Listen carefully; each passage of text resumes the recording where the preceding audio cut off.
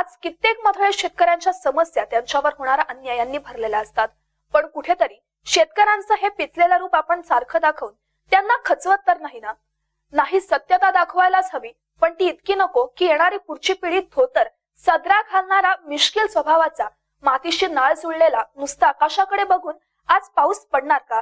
हे झटक्यात सांगणारा भाजी खावा ताजी ताजी आपल्या रानातीलच हाय असं म्हणणारा तो शेतकरी आपण विसरून जाऊ. कारण शेती आणि शेतकरी हे आपल्या संस्कृतीचे राखणदार आहेत. आज आपण जरी संस्कृती काळानुरूप विसरत असलो तरी शेतकरी मात्र असून सुद्धा त्या सगळ्या मुलांना घट्ट बांधून उभा आहे. कुठेतरी शेतकऱ्यांचं हेच खंबीर रूप सेनगाव तालुक्यातील तरुण शेतकऱ्यांमध्ये दिसून आलंय. बघूयात त्याच्यावर एमकेएनचा खास रिपोर्ट बळीराजाचा अभिनव प्रयोग. परभणी येथील शेतकऱ्यांची प्रकल्प बघून एका तरुण शेतकऱ्याने आपल्या गावात सुद्धा शेततळ करण्याचा संकल्प हाती घेतला. आणि मग सेनगाव तालुक्यातील वरुड चक्रपाणी या छोट्याशा गावात सुरू झाला. शेती संदर्भातला एक अनोखा प्रयोग शेततळ्याचा. बाबाराव कोटकर हे आपले सध्या तरुण शेतकरी आहेत. यांची यांनी परभणी जिल्ह्यातील जिंतूर तालुक्यामध्ये जाऊन हा संकल्प पाहिला होता आणि त्यांनी स्वतःच करून दाखवला. काय कसा प्रकल्प तयार केला आपण? सर्वप्रथम आम्ही परभणी जिल्ह्यातील जिंतूर तालुका आणि त्यातील शेवडीगाव या ठिकाणी सामूहिक शेततळे बघितले. त्यांची पाण्याची स्टोअर क्षमता बघून आम्हाला खूप छान वाटलं. आणि आवर्षण परिस्थितीमध्ये आपल्याकडे कुठे अशी साठवण क्षमता असावी या उद्देशाने आम्हाला सुद्धा अशी शेततळे करण्याची इच्छा झाली. त्या अनुषंगानं कृषी विभागाची मदत घेऊन या ठिकाणी आम्ही शेततळे उभारण्याचा निश्चय केला. हा शेततळे उभारताना आम्हाला जवळपास जेसीबी मशीन खोदकामासाठी लागले. तसेच काही मजूर सुद्धा लागले तरी हरकत नाही पण कृषी विभागाचे याला बऱ्यापैकी अनुदान असल्यामुळे याचा शेतकऱ्यांना बऱ्यापैकी फायदा होणार आहे. आता सध्या या तळ्यामध्ये किती पाणी आहे आणि त्याचा सध्या काय फायदा आहे सध्या माझ्या तळ्यामध्ये एक कोटी लिटर पाण्याची साठवण क्षमता आहे आणि या पाण्यावर ज्यावेळेस आपलं पीक एखाद्या पाण्याअभावी निघून जातं किंवा वाळतं त्याचा शेतकऱ्याला फार मोठं नुकसान सोसावं लागतं. त्याचं नुकसान होऊ नये म्हणून या तळ्याचा उद्देश आहे. तर माझ्याकडे हळद आहे सीताफळ लागवड केलेली आहे. तर त्याचा उपयोग मी या पिकासाठी करत आहे. आणि भविष्यामध्ये माझ्याकडे आणखी फळबागाचे क्षेत्र वाढवणार आहे त्या पीक क्षेत्रासाठी मला याचा खूप बऱ्यापैकी फायदा होणार आहे. आपण आता मच्छीचे त्याचं रोप टाकलेलं आहे. त्याचा किती पट फायदा होणार आहे सर? हा यामध्ये एक साईड बिझनेस म्हणून शेतीला याच्यामध्ये मी मत्स्यपालन केलं आहे. तर हे मत्स्यपालन करण्यासाठी मी याच्यात साधारणतः चार हजार मत्स्यबीज टाकलंय. तर त्या चार हजार मत्स्यबीजपासून मला साधारणतः एक ते दीड लाख रुपयाचा फायदा तो सुद्धा होणार आहे. आणि हा काही फार मोठा खर्च न करता मला याचा नफा मिळणार आहे. तुम्ही जिल्ह्यातल्या शेतकऱ्यांना काय संदेश देसाल? मी हिंगोली जिल्ह्यातील सर्व शेतकऱ्यांना असं आवाहन करेन किंवा त्यांना असा संदेश देईन की पाणी वाचवा देश वाचवा. पाणी हे सर्वात अनमोल वस्तू या पृथ्वी तलावर सध्या तरी घडीला आहे. आणि पाण्यास वाचून आपण कुठलीही चांगली शेती करू शकत नाही. तरी वाहून जाणारं पावसाचं पाणी हे प्रत्येक शेतकऱ्याने आडून त्याचा चांगल्या प्रकारे उपयोग केला पाहिजे. पण आडून पाणी हे जमिनीत नंतर वाहून जातं त्याला बऱ्याच अडचणी येतात. त्यासाठी एक चांगला पर्याय म्हणून शेततळे. शेततळ्यामध्ये पॉलिथिन टाकून हे पाणी आपण स्टोअर करू शकतो आणि या पाण्याचा आपण शेतीसाठी चांगल्या प्रकारे उपयोग घेऊ शकतो. सर्व शेतकऱ्यांनी त्याचा फायदा घेण्याचा नक्कीच उपयोग करायला पाहिजे. या सगळ्यात गावकऱ्यांना मदत लाभली ती हिंगोली कृषी विभागाची. या योजनेअंतर्गत सामूहिक शेततळे याची योजना राबवली जाते. त्या योजनेमध्ये आ- आजपर्यंत एकशे चौसष्ट शेततळे झालेले आहेत. आणि जवळपास प्रति शेततळे सव्वा तीन लाख रुपये अनुदान आपण या योजनेमध्ये देतो. एकशे चौसष्ट लाभार्थी आतापर्यंत त्याच्यामध्ये अ, लाभार्थ्याला लाभ दिलेला आहे. आणि पाणीसाठा पन्नास लाख प्रति शेततळं पन्नास लाख लिटर प्रति शेततळं ह्या एवढा पाणीसाठा झालेला आहे.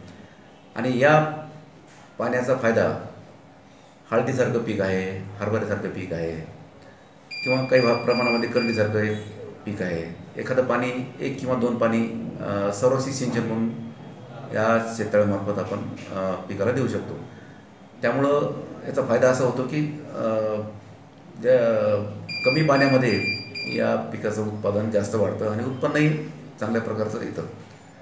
दुसरी योजना जिल्ह्यामध्ये मागील त्याला शेततळे आहे.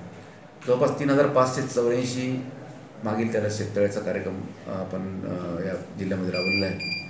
आणि तेवढेच लाभार्थीला आपण ह्या योजनेचा लाभ दिलेला आहे. पन्नास हजार रुपये प्रति शेततळ.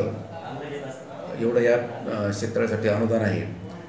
आणि लाभार्थी संख्यासुद्धा तीन हजार पाचशे चौऱ्याऐंशीच आहे. आणि प्रति शेततळ जवळपास वीस लाख लिटर पाणीसाठा या शेततळ्यामध्ये होतो. आणि याचासुद्धा फायदा विशेषतः हरभऱ्यासारख्या पिकासाठी. संरक्षित सिंचन म्हणून या या पाण्याचा फायदा होतो.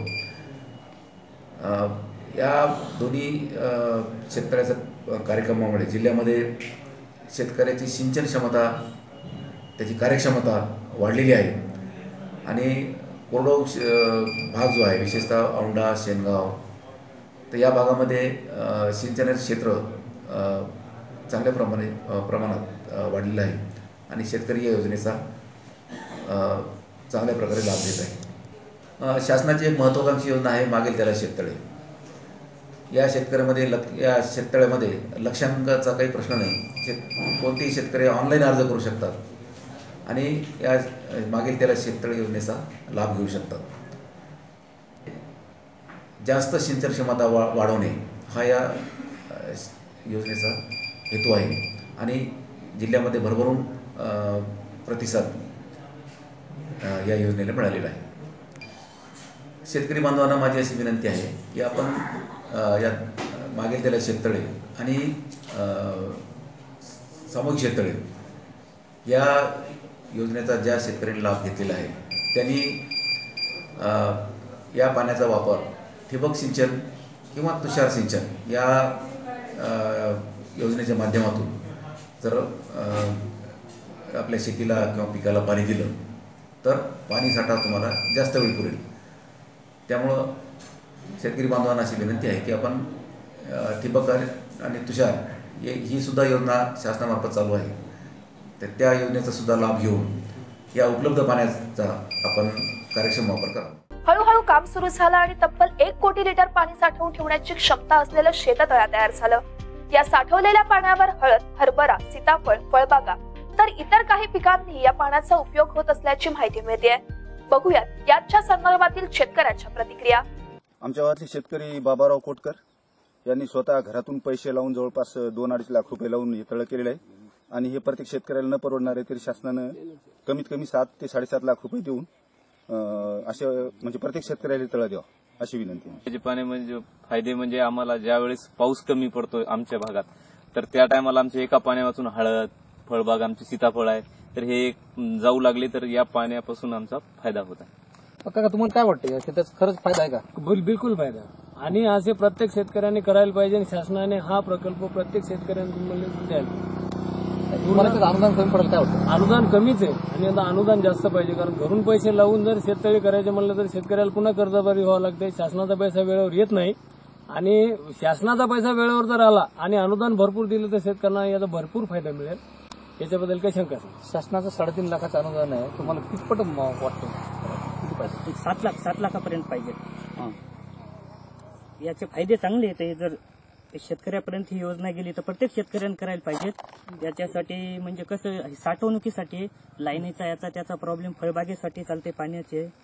तर असं हे सगळीकडे झालं पाहिजे सगळ्या शेतकऱ्यापर्यंत ही योजना पोहोचली पाहिजे या शेततळ्यांचा अनुभव उपक्रम नक्कीच एक वेगळा आदर्श निर्माण करेल हे नक्कीच.